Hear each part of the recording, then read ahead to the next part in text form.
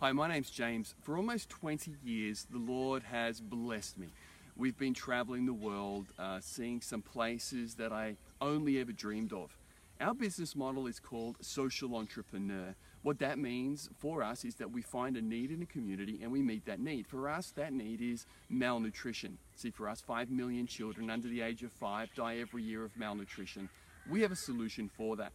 Now I'm coming over to the US, spending some time with Irvin as we talk and help other Christian business leaders to maybe find strategies for their business or to find extra ways to earn income to, I guess, alleviate the pressures that business sometimes has you know, I'm looking forward to meeting you. We specialize in social media, offline strategies, relationship building, and those kind of things. They're the things that we'll talk about. We'll also show you the products that we market and maybe how you can partner with us as well. I'm really looking forward to it. We've had a lot of success, and I look forward to helping you succeed as well. You see, the Lord put on my heart to raise up leaders in the marketplace so that no one is left behind.